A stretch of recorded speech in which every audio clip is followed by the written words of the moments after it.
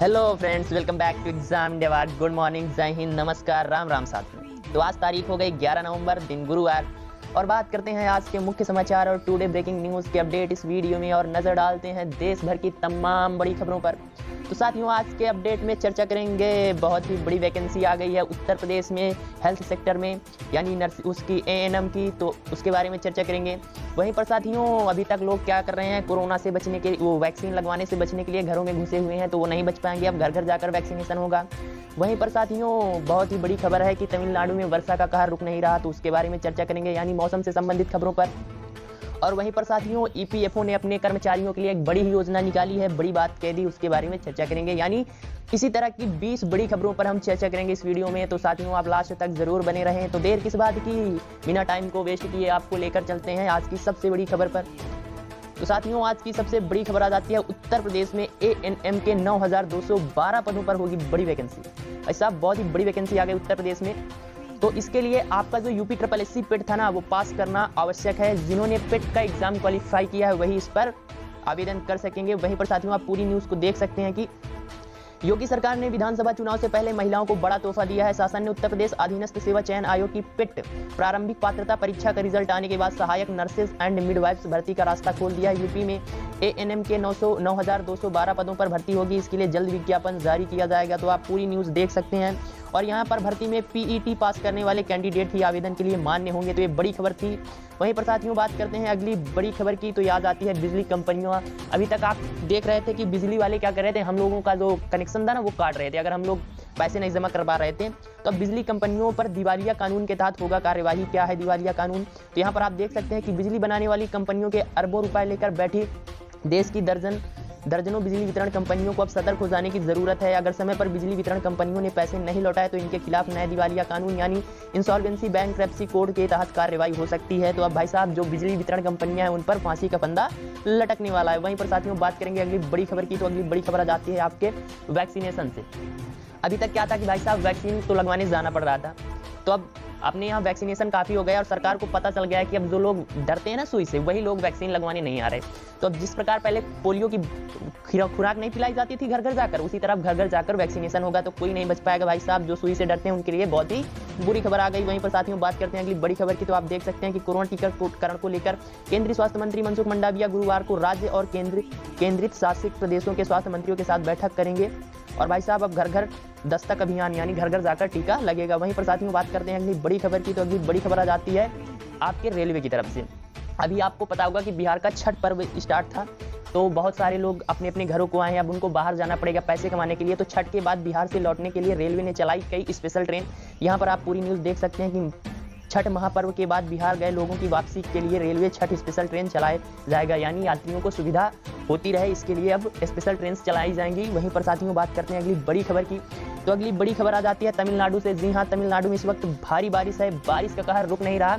और कल तो इतनी बारिश हो गई कि भाई साहब, बारह लोगों की मौत हो गई और कई क्षेत्रों में रेड अलर्ट जारी है। यानी वहाँ पर काफ़ी तेज़ी से वर्षा होने के आसार हैं। यहाँ पर आप पूरी न्यूज़ देख सकते हैं कि तमिलनाडु में लगातार हो रही बारिश के चलते हालात बेहद खराब हो गए हैं और राज्य में वर्षा जनित हादसों में 12 लोगों की मौत हो गई है। यहीं पर साथ ही राहत और बचाव कार्यों के लिए एनडीआरएफ की 11 टीमों और एसडीआरएफ की सात टीमें तैनात की गई हैं। और भाई साहब मौसम विभाग का कहना है कि तमिलनाडु के लोगों को फ़िलहाल भारी बारिश से निजात नहीं मिलने वाली। यानी वहाँ पर अभी वर्षा स्टार्ट ही है। वहीं पर साथियों बात करते हैं अगली बड़ी खबर की। तो अगली बड़ी खबर बहुत ही इंपॉर्टेंट हो जाती है। और भाई साहब इंसान अब धरती पर नहीं चाँद पर ही जा, जाता है। आप सभी को पता है कि 12 लोग चाँद पर जा चुके हैं। वहीं पर साथियों नासा ने घोषणा की है कि 2025 तक अंतरिक्ष यात्रियों को चाँद पर भेजेंगे। दरअसल इनका यह प्रोजेक्ट और पहले ही होने वाला था।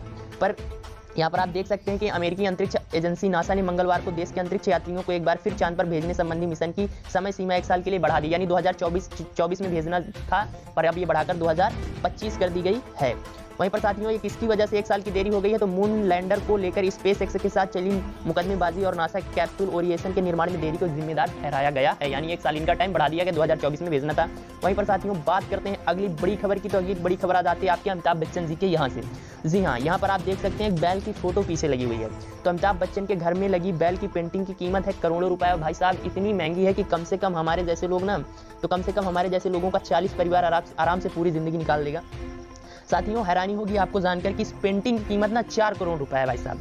और ये आप देख सकते हैं, बैल की पेंटिंग पीछे लगी हुई है।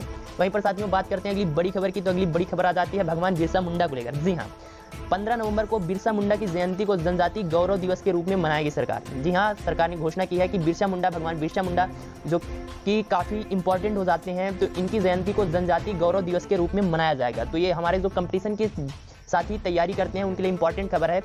वहीं पर साथियों, हम सभी के लिए इंपॉर्टेंट है। वहीं पर साथियों बात करते हैं अगली बड़ी खबर की तो अगली बड़ी खबर आ जाती है आपकी।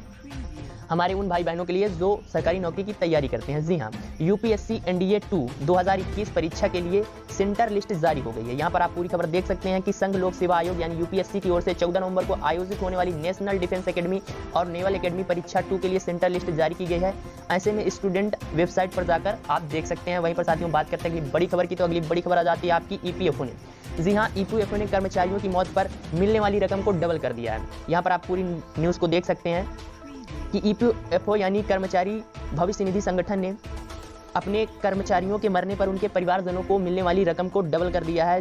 मंडल के मुताबिक अगर किसी कर्मचारी की मौत, यानी प्राकृतिक मौत होती है तो उसके परिवार को ex gratia death relief fund दोगुना मिलेगा। और यह रकम बोर्ड के हर कर्मचारी के लिए एक समान है। इस रकम के लिए वेलफेयर फंड में इंतज़ाम किया गया है। वहीं पर साथियों, बात करते हैं बड़ी खबर की तो अगली बड़ी खबर आ जाती है आपके कानपुर में। आपको पता होगा कि कल कानपुर में आपके योगी आदित्यनाथ जी आए थे। तो कानपुर मेट्रो में सीएम योगी ने भी किया सफ़र। पहले ट्रायल रन को हरी झंडी दिखाई। साथियों, अब जल्द ही कानपुर में क्या होगा? आपकी मेट्रो ट्रेन चलने लगेगी। यहाँ पर आप पूरी जानकारी देख सकते हैं कि सूबे के मुख्यमंत्री योगी आदित्यनाथ को बटन दबाकर बुधवार को कानपुर मेट्रो के ट्रायल रन का शुभारंभ किया। मुख्यमंत्री योगी ने कहा कि प्रदेश के चार अन्य मेट्रो सिटी के साथ जल्द ही कानपुर भी जुड़ने वाला है। कोरोना महामारी के समय में भी यूपीएमआरसी ने निर्धारित समय में काम पूरा किया। इसके अलावा उन्होंने कहा कि अगले एक से डेढ़ महीने में पीएम मोदी के हाथों कानपुर वासियों को इस सेवा की सौगत मिलेगी। यानी अगले डेढ़ महीनों में कानपुर में मेट्रो चलने लगेगी। वहीं पर साथियों, बात करते हैं बड़ी खबर की। तो अगली बड़ी खबर आ जाती है भाई साहब, जापान में अभी चुनाव हुए हाल ही में तो वहाँ पर प्रधानमंत्री के पद की घोषणा हो गई है और आपको जानकर खुशी होगी कि फोमियो किशीदा फिर चुने गए हैं जापान के प्रधानमंत्री। आप पूरी न्यूज़ यहाँ पर देख सकते हैं कि जापान के प्रधानमंत्री फोमियो किशीदा संसदीय चुनाव में अपनी सत्तारूढ़ पार्टी की बड़ी जीत के बाद एक बार फिर प्रधानमंत्री चुन लिए गए हैं। तो यहाँ पर पूरी जानकारी आप देख सकते हैं, वहीं पर साथियों बात करते हैं बड़ी खबर की। तो साथियों, प्रियंका वाड्रा ने कहा कि उत्तर प्रदेश में आशा और आंगनवाड़ी कार्यकर्ताओं को दस दस दस हज़ार रुपए मिलेगा मानदेय। तो ये साथियों आप सभी को पता होगा कि उत्तर प्रदेश में क्या चल रहा है। चुनाव होने वाला है। तो ये चुनावी वादे किए जा रहे हैं। वहीं पर प्रियंका वाड्रा ने कहा, अगर उत्तर प्रदेश में कांग्रेस की सरकार आती है तो आशा, यानी जो आशा बहु होती है ना, और वहीं पर आंगनबाड़ी कर्मियों को दस हज़ार रुपए मानदेय देगी कांग्रेस सरकार। यहाँ पर आप पूरी जानकारी देख सकते हैं उत्तर प्रदेश विधानसभा चुनाव में महिलाओं को चालीस फ़ीसद टिकट देने वाली, का वादा करने वाली कांग्रेस पार्टी यूपी में सत्ता आने पर आंगनबाड़ी और आशा कार्यकर्ताओं को दस हज़ार रुपए प्रति माह मानदेय देगी। तो ये साथी चुनाव वादे हैं, चुनाव के बाद देखेंगे। वहीं पर साथियों बात करते हैं अगली बड़ी खबर की तो अगली बड़ी खबर आ जाती है आपके, बहुत ही इंपॉर्टेंट है और बहुत अच्छा हुआ है। सामूहिक दुष्कर्म मामले में पूर्व मंत्री गायत्री प्रजापति दोषी करार। और साथियों, कल, यानी 12 नवंबर को इनको सजा सुनाई जाएगी। वहीं पर आप देख सकते हैं कि चित्रकूट की महिला के साथ सामूहिक दुष्कर्म मामले में एमपी, एमएलए कोर्ट ने यूपी की सपा सरकार में मंत्री रहे गायत्री प्रजापति को सामूहिक दुष्कर्म और पॉक्सो एक्ट में दोषी करार दिया है। अदालत 12 नवंबर को सजा सुनाएगी। मामले में आशीष सुख और अशोक तिवारी भी दोषी पाए गए हैं। वहीं पर साथियों, बात करते हैं अगली बड़ी खबर की। तो अगली बड़ी खबर आ जाती है। भाई साहब, इस वक्त लखीमपुर में बाघ का आतंक छाया हुआ है। जी हाँ एक बाग क्या है? लखीमपुर में आ गया है। दरअसल लखीमपुर जो है ना, वो टाइगर रिज़र्व से लगा हुआ है। तो खेत में चारा काटने गया, ग्रामीण पर हमला किया और भाई साहब, उस ग्रामीण की मौके पर मौत हो गई। यहाँ पर आप पूरी न्यूज़ देख सकते हैं। वहीं पर साथियों, बात करते हैं अगली बड़ी खबर की। तो अगली बड़ी खबर आ जाती है आपकी रेलवे की ओर से। जी हाँ अभी तक क्या होता था कि रेल, हम जब रेलवे स्टेशन में जाते थे तो हमको रिक्शे वाले को बुक करना पड़ता था, काफ़ी परेशानी होती थी। अब भाई साहब, सब कुछ ऑनलाइन हुआ जा रहा है। तो रेलवे स्टेशनों पर शुरू हुई बैटरी चालित कार की सुविधाएँ ऑनलाइन होगी बुकिंग। यहाँ पर आप पूरी न्यूज़ देख सकते हैं कि I R C T E car and E vehicle chair online booking जैसा हम आईआरसीटीसी की वेबसाइट से टिकट बुकिंग नहीं कर लेते ट्रेन की। उसी तरह अब हम क्या कर सकेंगे? ई कार और ई रिक्शा बुक कर सकते हैं। रेलवे स्टेशन पहुंचकर अब बैटरी चालित कार या बैटरी चालित रिक्शा और व्हील चेयर के लिए परेशानी नहीं होगी। भाई साहब, अब सब ऑनलाइन हुआ जा रहा है। वहीं पर साथियों बात करते हैं अगली बड़ी खबर की। तो अगली बड़ी खबर आ जाती है आपकी वैक्सीनेशन को लेकर। वैक्सीनेशन नहीं तो सरकारी कर्मचारियों को नहीं मिलेगा वेतन। जी हाँ। और ये भाई साहब खबर है आपकी सहारनपुर की। यहाँ पर सहारनपुर के जिलाधिकारी अखिलेश सिंह ने कहा कि जिन सरकारी विभागों में अधिकारियों एवं कर्मचारियों का कोविड वैक्सीनेशन नहीं हुआ, उनका वेतन रोका जाएगा। सभी विभागाध्यक्षों को निर्देश दिए गए कि एक सप्ताह के अंदर प्रमाण पत्र प्रस्तुत करें कि उनके अधीनस्थ सभी कर्मचारियों ने कोविड वैक्सीन करा लिया है। तो भाई साहब, अगर आप सरकारी कर्मचारी हैं तो आप भी जल्दी से वैक्सीनेशन करा लीजिए। वहीं पर साथियों, बात करते हैं अगली बड़ी खबर की तो अगली बड़ी खबर आ जाती है आपकी। भाई साहब नोबेल शांति पुरस्कार मलाला यूसुफजई को कौन नहीं जानता? तो आप सभी को पता होगा कि मलाला यूसुफजई जो कि पाकिस्तान की हैं इन्हें नोबेल शांति पुरस्कार मिला था। और भाई साहब इन्होंने असर मलिक से शादी कर ली है तो इसके बारे में बड़ी जानकारी है। काफ़ी इस वक्त ये ट्रेंडिंग का टॉपिक है। तो शांति नोबल शांति पुरस्कार विजेता मलाला यूसुफजाई अब एक नए जीवन के अध्याय को शुरू कर रही हैं। उन्होंने एक शादी समारोह में बर्मिंगम में असर मलिक के साथ शादी कर ली। और भाई साहब जो असर है ना ये पा, पाकिस्तान क्रिकेट कंट्रोल बोर्ड के जनरल मैनेजर पर पद पर हैं। एक बार साथियों, बात करते हैं अगली बड़ी खबर की। तो अगली बड़ी खबर आ जाती है भाई साहब भारत बायोटेक अभी तक क्या आप सभी को पता होगा कि कोरोना वैक्सीन की दो डोज लग गई थी। अब भाई साहब, तीसरी डोज का भी आप, अगर आप तीसरी खुराक लगवाना चाहते हैं तो भारत बायोटेक ने इसके लिए उचित समय बताया है। भारत बायोटेक ने भाई साहब बताया है जो भारत बायोटेक के अध्यक्ष और प्रथम निदेशक रचना एल्लाह ने उन्होंने कहा कि कोरोना रोधी वैक्सीन की दूसरी डोज के छह माह बाद, यानी पहली डोज लग गई, फिर दूसरी डोज लग गई, और दूसरी डोज के छह माह बाद आप तीसरी डोज लगवा सकते हैं। तो ये कोरोना से रिलेटेड कुछ न्यूज़ थी, वहीं पर साथियों बात करते हैं अगली बड़ी खबर की। तो अगली बड़ी खबर आपके फेसबुक से आगे जी हाँ अब फेसबुक विज्ञापन संवेदनशील विज्ञापन, यानी जो आपके काफ़ी इंपॉर्टेंट विज्ञापन होते हैं जो कि थोड़ी थोड़ी बातों पर क्या करा देते हैं? दंगा करा लेते हैं। तो संवेदनशील विज्ञापनों पर भी फेसबुक की होगी पैनी नज़र। टारगेटिंग ऑप्शन को खत्म करेगा मेटा आप सभी को पता होगा कि फेसबुक का नया वर्जन मेटा आया। तो उसी के तहत काफ़ी कुछ बदलता जा रहा है। इंटरमीडिएट प्लेटफॉर्म फेसबुक की मूल कंपनी मेटा 19 जनवरी से स्वास्थ्य, नस्ल या जाति, राजनीतिक संबंध, धर्म या यौन मामलों से संबंधित संवेदनशील एंड टारगेटिंग ऑप्शन यानी किसी को लक्ष्य बनाकर विज्ञापन देने का विकल्प को खत्म कर देगा। वर्तमान में विज्ञापन दाता उन लोगों को टारगेट कर सकते हैं जिन्होंने इन विषयों में संबंधित मुद्दों, हस्तियों या संगठनों में रुचि दिखाई है।